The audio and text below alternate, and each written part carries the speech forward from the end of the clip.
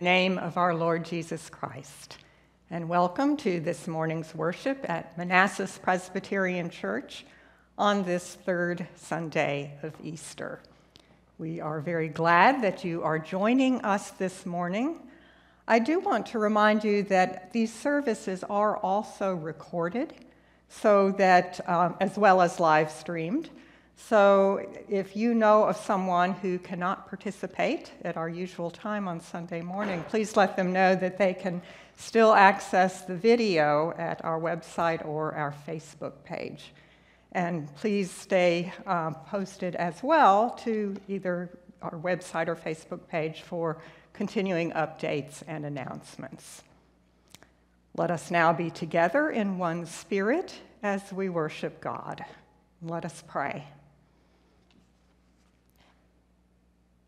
Almighty and eternal God, the strength of those who believe and the hope of those who doubt, may we who have not seen have faith to see your presence in the world and to hear your promises in the scriptures, so that we may receive the fullness of Christ's blessing, who is alive and reigns with you and the Holy Spirit one God, now and forever. Amen.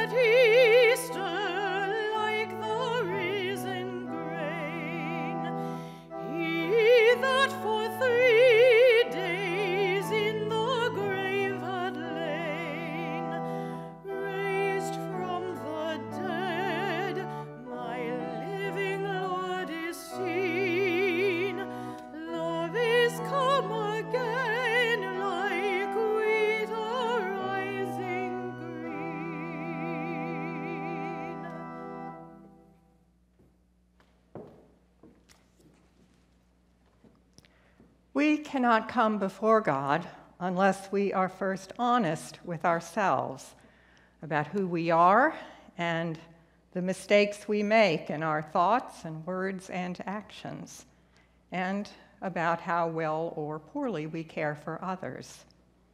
So, trusting in God's mercy, let us ask for the forgiveness we need.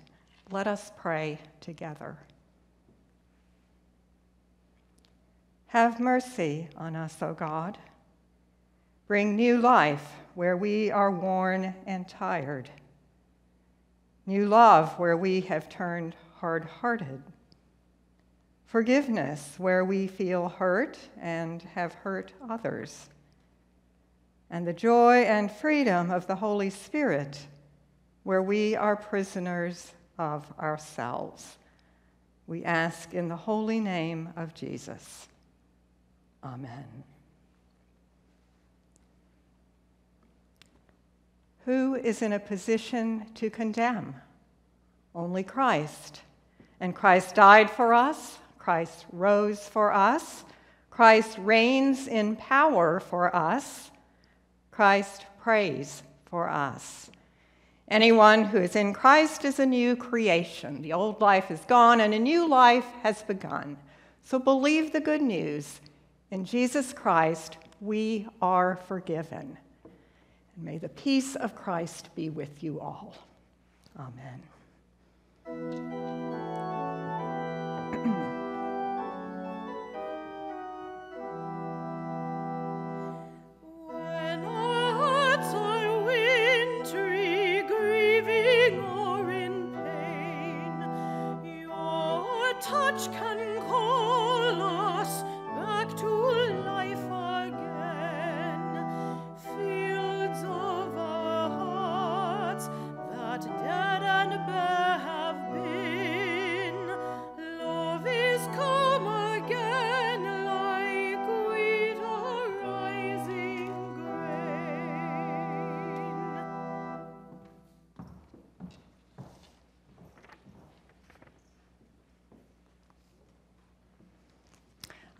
the children of the church are with you this morning because I have something that I would like to share uh, with the children, but also really the whole family.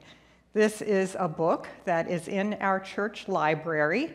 It's called In God's Name by Sandy Eisenberg Sasso. And I think we've shared some of her books before, so I hope you will enjoy this one in God's name.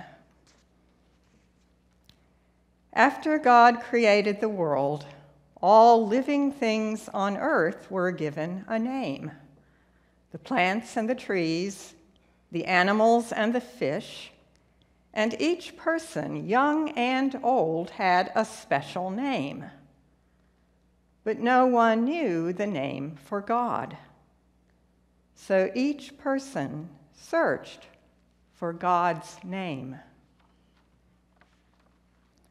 The farmer whose skin was dark, like the rich brown earth from which all things grew, called God source of life. The girl whose skin was as golden as the sun that turned night into day, called God creator of light. The man who tended sheep in the valley, called God shepherd. The tired soldier who fought too many wars, called God maker of peace. The artist who carved figures from the earth's hard stone, called God my rock. Sometimes the people who called God by different names were puzzled. They said every living thing has a single name the marigold, pansy, and lily, the oak tree, sequoia, and pine. God must have a single name that is greater and more wonderful than all other names. Each person thought his name for God was the greatest. Each person thought her name for God was the very best. The farmer who called God source of life said, This is the true name for God.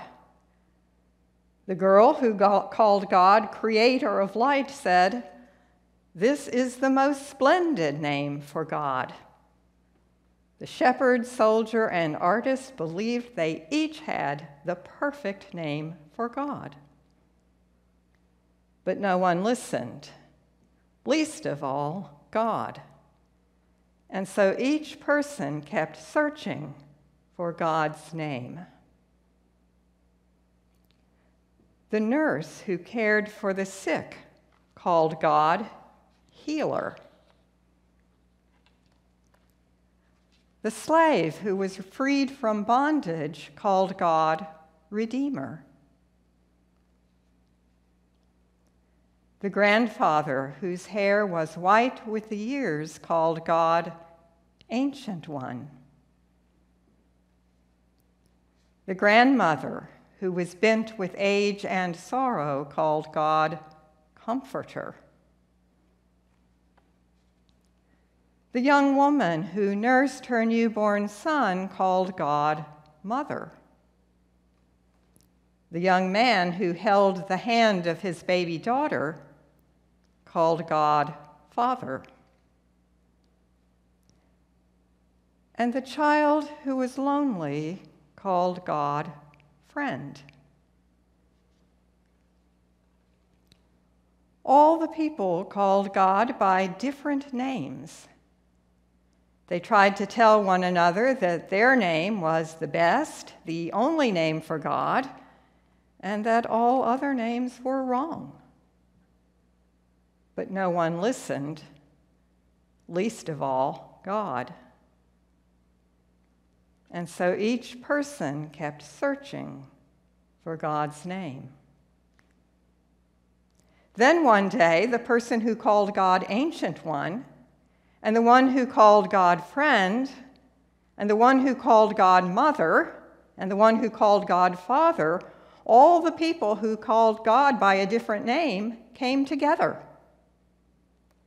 They knelt by a lake that was clear and quiet like a mirror, God's mirror. Then each person who had a name for God looked at the others who had a different name.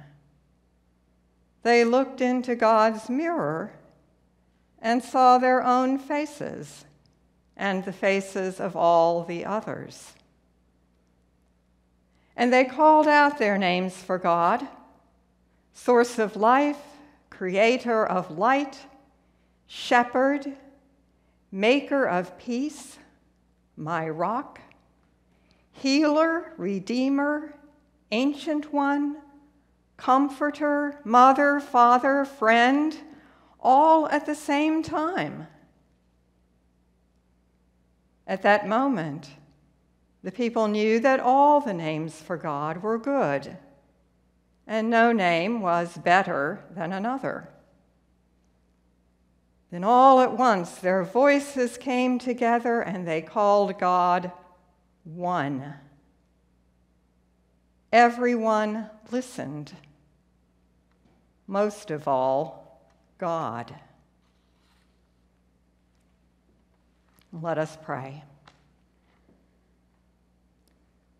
We know you, God, in so many ways. We have many names for you, and we will never understand all that you are. But we know you love us and care for us. Help us to love you too. Amen.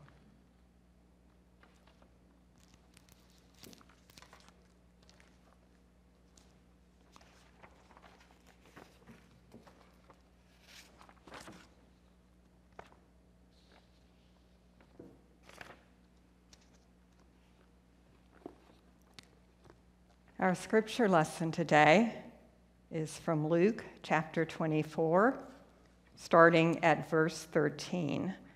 This is a story of one of the post resurrection appearances of Jesus. It takes place on Easter Sunday afternoon. Listen now for the word of our God. Now, on that same day, two of them were going to a village called Emmaus, about seven miles from Jerusalem, and talking with each other about all these things that had happened. While they were talking and discussing, Jesus himself came near and went with them, but their eyes were kept from recognizing him.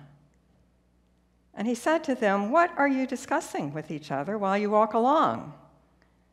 They stood still, looking sad.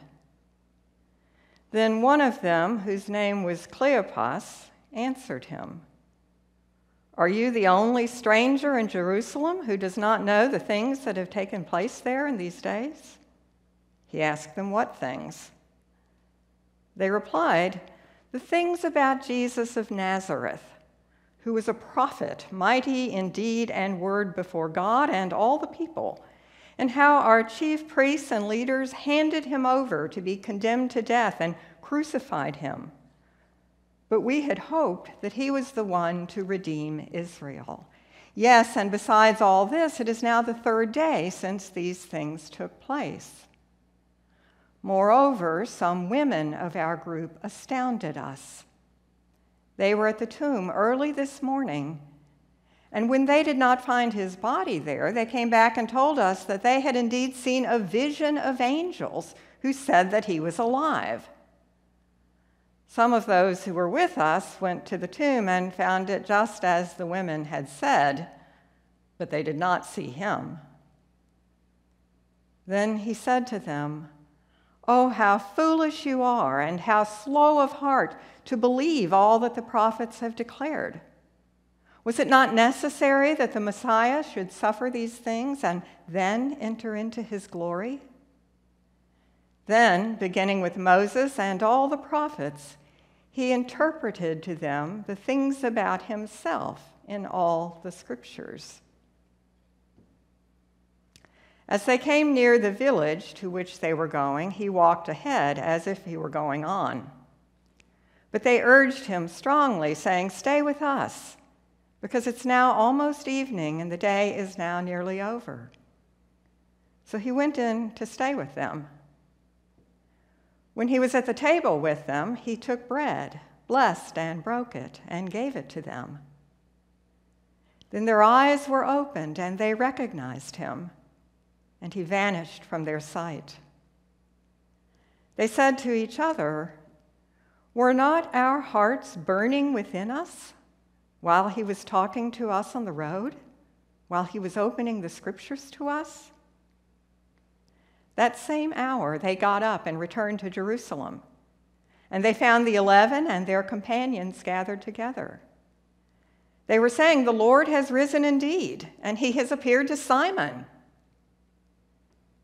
Then they told what had happened on the road and how he had been made known to them in the breaking of the bread. This is the word of the Lord.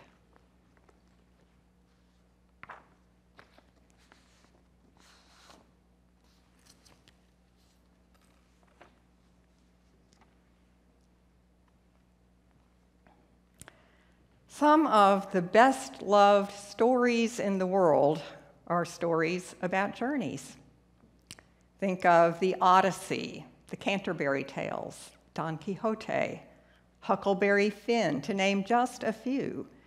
People on a road trip seem to be a natural subject for the storyteller's art. Well, Luke must have liked these kinds of stories too, because he tells the story of Jesus and the early church as a travel story, a story of people on the move. In Luke, there are journeys within journeys, and every one has a destination and a purpose. However, the journey toward Emmaus of the two sad disciples on Easter Sunday afternoon seems to have no purpose. Luke gives us no idea of what they're expecting to find in Emmaus. Even stranger, we have no idea where Emmaus was. A town of this name just doesn't exist on any known map. There are, about, there are three different towns about seven miles from Jerusalem that have been suggested as the location of this village, but there's no conclusive evidence to establish any of them. The two disciples are mysterious too. Only one of them is named.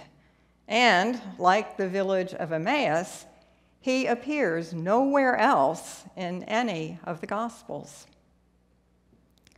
It's almost as if Emmaus is any town, and the unnamed disciple who walked with Cleopas could be any one of us.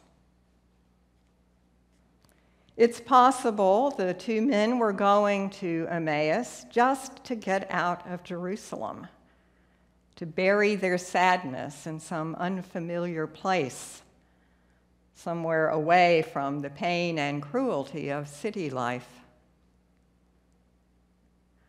Wherever or whatever Emmaus is or was, it appears that these two disciples were running away.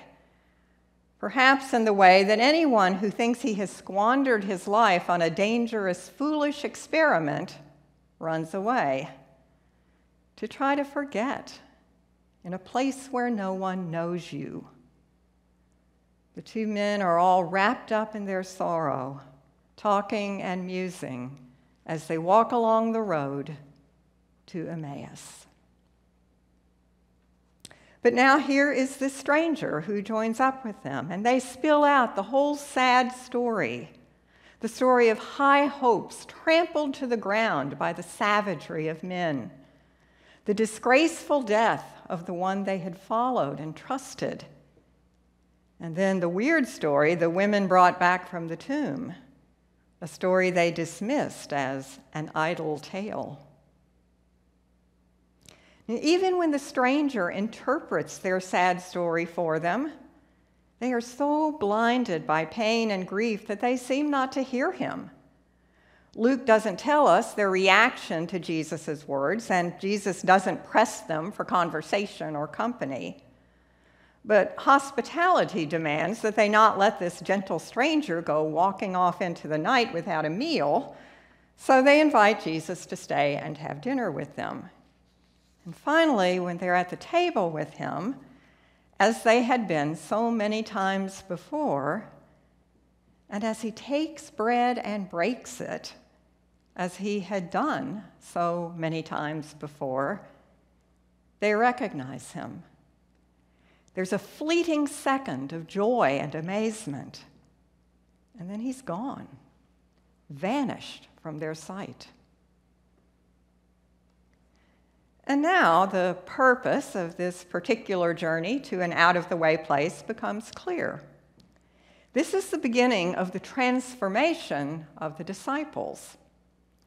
These gloomy men who had trudged along with their eyes cast down from now on would be people who had a completely different way of being in the world. The story of Emmaus is a story about the beginnings of the church, the small band of disciples coming together again to meet the world in a whole new way. Now, the world these disciples would return to after the dinner at Emmaus would still be the same world in spite of the resurrection. It would go on in its usual way with its treacheries and betrayals and its disregard for the truth. But they would be different. And as they came together again, they would begin to form a new kind of community a community that gathered around a table to share bread and wine and tell a story they would never get tired of telling. And every time they got together to taste the bread and drink the wine and tell the story, there Jesus would be with them again. A phenomenon so remarkable they couldn't keep it to themselves, and so all kinds of new journeys began journeys to places whose names we do know, like Antioch and Athens, Corinth, Ephesus. Places where sometimes they would be welcomed, but more often than not, they'd be ridiculed, dismissed, sometimes even beaten or thrown into prison. The world had not changed in any apparent way, but they had. Every time we come to the Lord's table together, we remember that Emmaus meal and so many others that Jesus shared with his disciples, where he showed his love for them through the simple acts of breaking the bread and passing the cup. These were meals of communion, full of the presence of God. When the very first Christians came together to worship, they remembered all the meals with Jesus in a symbolic meal they called the Eucharist. Eucharist means thanksgiving, and thanksgiving is the dominant note of this meal with the risen Christ. This sacrament is one of the marks of the church. One of the ways we know we are a church is that we do this. It's as intrinsic to who we are as the reading and interpretation of Scripture. But now, when we come together for worship, we must do so virtually. It is a great blessing that we are able to stream these worship services so that we can still gather, in a sense, from the safety of our homes. But we all know it is not the same. I can tell you that speaking to a camera in a sanctuary that is almost empty, except for those of us who are here to lead the worship, is not the same at all as speaking to you as a congregation, gathered in one place, physically present, embodied, and not virtual. Something is lost, and we all know it. And I think many of us feel that loss the most in not being able to come together at the Lord's table, where Jesus promises to meet us and transform us through our participation in this sacrament. Now, to address this situation, some churches are conducting online communion services. Many Baptist and independent evangelical congregations, in particular, seem to have readily adopted virtual communion. While Episcopalians, on the other hand, who emphasize the real presence of Christ in bread and wine consecrated by a priest, are tending to hold the line against a virtual sacrament. The Evangelical Lutheran Church of America, with whom we have a formula of agreement, is also discouraging online communion and recommending that churches use this time to study more deeply the meaning of communion. Well, Presbyterians seem to be somewhere in the middle. When churches across the country began to shut down in response to local advisories or statewide orders, the PCUSA sent out an advisory statement saying that we should not try to have virtual communion services. And then a couple of weeks later, our denomination reversed itself. The more recent advisory states that virtual communion can be practiced in the event of an emergency, which would include a pandemic. To quote the document, during an emergency or a pandemic in which the church is unable or advised not to gather in person for reasons of public health, a congregation session may determine that this includes observing communion online. This should only be done, the opinion states, after thorough investigation of the theology of the Lord's Supper, using Scripture, the confessions, and the Book of Order and with a clear understanding of how those who participate at home will receive the sacrament as a means of God's grace. Well, certainly, there are a number of things a session would have to consider before making a decision on something like this, but the most basic is our sacramental theology itself. We are not Roman Catholic, believing in the actual presence of Christ in the elements themselves once they've been consecrated by a priest. So we would seem to have more leeway in this matter. But we are not Baptists either, who tend to see the Lord's Supper more as a memorial of Jesus' last meal with his disciples and the presence of Christ as purely symbolic. We are in the tradition of John Calvin, who saw Christ with us not in the elements themselves, but at the meal, where he is spiritually present with the gathered community. This understanding makes a purely private consumption of the elements in our homes a little problematic. Christianity is an embodied faith, so physical things are important. The shared bread and cup, the physical presence of the congregation or its leaders. At the same time, the sacrament is a spiritual gift. So, the characteristic words and actions of the sacrament, which can be spoken and carried out in a virtual service, could be seen as conveying the spiritual reality of the Lord's Supper, even if we are not together physically. So, where does this leave us? The Book of Order stipulates that Presbyterian congregations should observe the Lord's Supper at least quarterly. Our last observance was on March 1st, the first Sunday of Lent. That means we should have communion again no later than the first Sunday of June. That's a long time to wait, especially since we're used to having communion at least once a month if we get to June and we're still sheltering in place, which is quite possible, maybe likely, we may need to take virtual communion into consideration.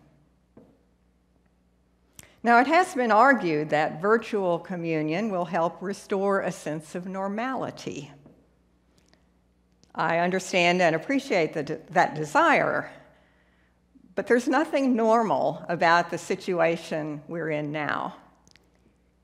And there's nothing normal about private communion in our living rooms. It may help to remember that the church has had to do without true Eucharistic practice in past times of danger and upheaval. The German theologian Michael Welker has described some of the bleak, depressing communion services he has attended, and one in particular stands out for him. He writes, I think back to services of Holy Communion in Berlin after World War II, in which people stood in long lines in somber big city churches to receive bread and wine. Here, one could not recognize Jesus' table fellowship. The scene had more the appearance of a business distributing scarce goods. His point is that many communion services, regardless of their form, do not convey gratitude, joy, or a communal sense of being with Christ. In its deepest sense, the Lord's Supper is a feast of the abundance and generosity and vitality of God. The question is whether we can recognize Jesus in the breaking of the bread, as those disciples did at Emmaus, in an online service where we are distant from each other. Jesus stayed just long enough with the two disciples to give them what they needed to know that he was alive and still with them and to travel back to the troubled world to carry out his ministry.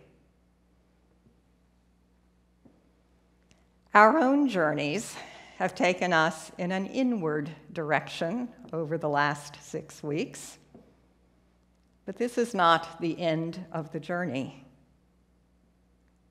Let's let this be a time when we gather strength to travel back into the world God loves when the time is right, and then be ready to serve God's purposes there. There are still many more journeys for us to make. Amen.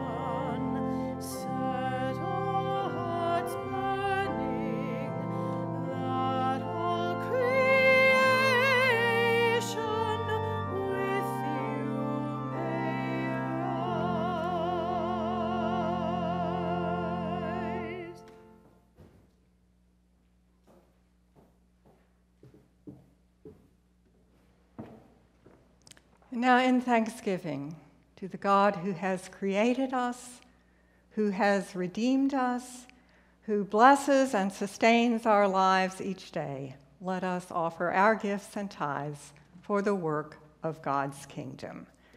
You may make your offering online or mail it to the church office.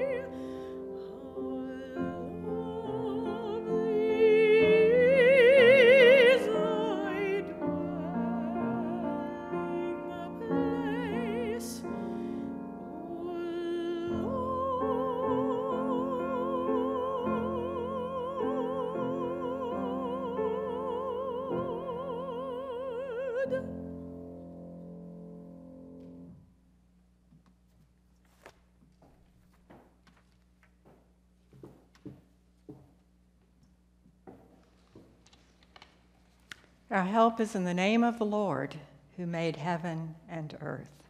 Let us be in a time of prayer together.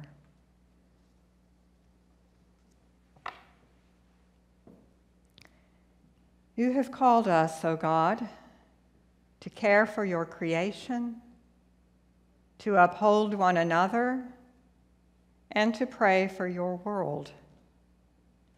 Hear the prayers we bring to you today for the healing of the earth and the healing of its people. We pray for all who are caught in the grip of disease, suffering, and death. And we give thanks for all who are bringing relief from the suffering under this pandemic. For doctors and nurses, medical support staff, drivers, first responders of all kinds, for scientists and researchers, for those who continue to offer needed goods and services to the people when it's hazardous to do so, and for those who see the needs of their neighbors and respond. May your blessing of peace and healing be on all of them. We pray for those who have lost their livelihoods or have been furloughed, for small business owners who are struggling, for children and youth who face uncertainty about the future, for parents who are struggling to hold families together in a time of hardship. We continue to pray for those in hospitals and nursing homes, and for all who feel lonely and afraid. We pray, as always, for those known to us who have ongoing medical concerns, who are anxious for a spouse or a child or a parent for those who are nearing the end of earthly life, and those who are mourning the loss of a loved one. We pray for this congregation that your spirit of life will continue to hold us together, even though we are physically apart. We ask you to empower us to minister to each other and wherever we're most needed in this community to bring friendship, comfort, and relief.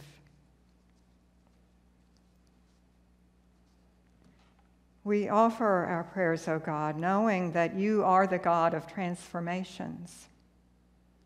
You transform hearts and minds with the realization of your love and power in the life, death, and resurrection of Jesus and your spirit of renewal seeks everywhere to transform places of sorrow and suffering into places of healing and hope and new life. Hear us now as we pray in the words that Christ has taught us, saying, Our Father, who art in heaven, hallowed be thy name. Thy kingdom come Thy will be done, on earth as it is in heaven. Give us this day our daily bread, and forgive us our sins as we forgive those who sin against us. And lead us not into temptation, but deliver us from evil. For thine is the kingdom, and the power, and the glory forever. Amen.